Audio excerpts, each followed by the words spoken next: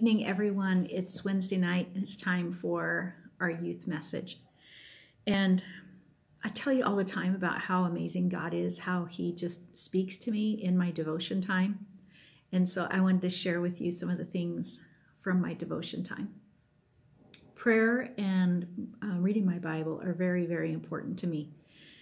And um, sometimes praying is hard. Sometimes I feel like I'm not good at it or I don't say the right thing or I don't know what to say. And I've even talked to a few people and I've heard them say, I, I, I don't know what to say. I don't know how to talk to God. I, I don't, I'm afraid I'm going to say the wrong thing. So I want to take a look at those things today. So I have two scripture verses I want to look at. The first one is from Psalms. It's Psalm 62, verse 8, and it says, Pour out your heart to him, for God is your refuge. And then the second one is Matthew 7 8. For everyone who asks receives, and he who seeks finds, and to him who knocks it will be opened when I was a, a, little girl, I there was you know several people that when they prayed, I was always like, wow, they're amazing prayers. I wish I could pray like that. And I never wanted to pray out loud. I didn't want to pray out loud because I, I always thought I'm not good at it. I don't know what to say, you know, and I don't want to stumble over my words. And I, I was just very nervous about it. And then one day I was in a, I think it was a youth group, if I remember, I was, was in high school. And we were going around saying a prayer. And I don't remember the situation exactly, but there was something going on in somebody's life, and I can't remember what it was or who it was.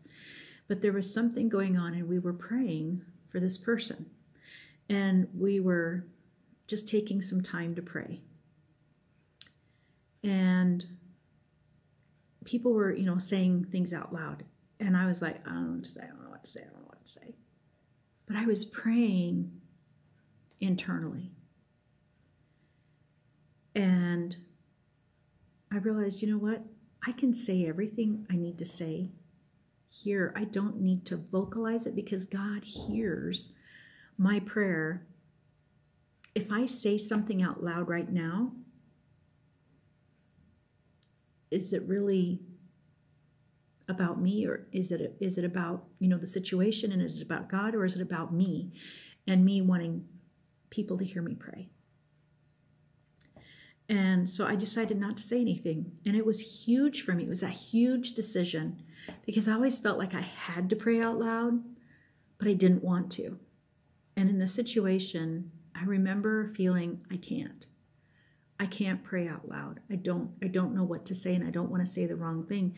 But in my heart, I was saying everything that was coming to me. I was pouring out my heart to God, just like in Psalm 62 8. Pour out your heart to Him, for God is our refuge. And I wish I could remember the situation. I remember how I felt though. And then there was another situation. I was teaching at St. Bon's, and we had a kindergarten teacher, and um, She'd just had a baby. She had just returned back to work. And we ha- were having a staff meeting, and I was walking down the hall to go to the staff meeting, and the secretary um, was running down the hall. And she had this look on her face. I'll never forget the look on her face. And I got into the library where the staff meeting was, and all of a sudden I heard her screaming for the kindergarten teacher. And she came running into the room and she said the teacher's name. And she said her daughter's name. And she said, she's not responding. And the teacher jumped up and ran, and a couple people followed her, and the rest of us just immediately went to prayer. And we could hear the teacher screaming as she's running down the hallway that mother's scream that you never want to hear the scream of knowing your baby, it's your baby, and you don't know what's going on. All of us went to prayer, and, and it was a Catholic school, and I'm not Catholic, you guys know that. So everybody started praying the rosary. But it wasn't what was in my heart. The rosary was not was not in my heart. It wasn't the prayer I wanted to pray. And so everybody else around me was praying the rosary. And I just started pouring out my heart to God. And I just prayed for the teacher and her family. I prayed for the babysitter. I prayed for the doctors and the nurses and the paramedics. And as I was praying, I felt and I saw and I knew that the baby died. I saw I saw the baby. Now I'd only seen this baby one time, but I saw the baby. And the baby was being held by someone. I didn't know who, but it was being held by someone. And I knew that the baby was gone. And as soon as I saw this person I didn't know holding the baby, I knew the baby was gone. And my prayers immediately changed to caring for the family in the time of grief. And it actually helped me when the news came that she she had passed. And when we got to be together with the teacher again and her family and going to the funeral, it was those prayers that sustained me. It was those prayers that kept me going, knowing that I had poured out my heart to God and I was continuing to pray for them. And it's been 13, 14 years now since since they lost their child. They never had any more kids after that. They they had two before and then they had this baby. And they're two older ones. They're they're graduated high school and they're in college now. But it was that time of prayer. It opened my eyes to who God is, and it doesn't matter what you say or how you say it. Say it from your heart. And if you pray out loud or if you pray in your heart, it doesn't matter. Just pour out your heart to God. So I want to read a couple of the things that came to me today from my scripture, from my devotions.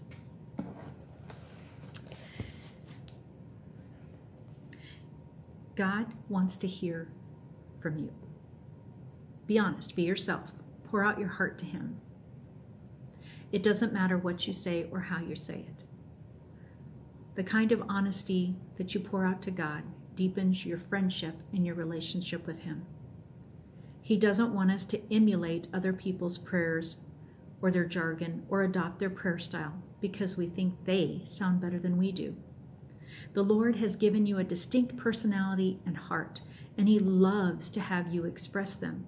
He made your voice. And just as I love to hear my children talk and, and other children talk and sing and play, God loves to hear your voice. In whatever language you speak to Him, because you are His child, you are accepted, you are loved. You don't have to sound like your minister or your youth leader or a more spiritually mature friend. When you come to God, come as you are. He's waiting to bless you and show you his love. Isn't that beautiful? And then this one also today. It just amazes me how it goes. So I'm going to kind of read the whole thing here. Prayer for most of us is not a matter of a month long retreat or even an hour of meditation. Prayer is a conversation with God while driving to school or awaiting an appointment or before interacting with someone. Prayer can be an internal voice that directs your external action. This much is sure God will teach you to pray. Don't think for a minute that he is glaring at you from a distance with crossed arms and a scowl, waiting for you to get your prayer life together. Exactly the opposite. He says, Here I am. I stand at the door and knock. If you hear my voice and open the door, I will come in and eat with you, and you will eat with me. So, what does this mean? Jesus waits on the porch. He stands on the threshold. He taps and he calls. He waits for you to open the door. To pray is to open that door. Prayer is the hand of faith on the door handle of your heart. The willing ones pull.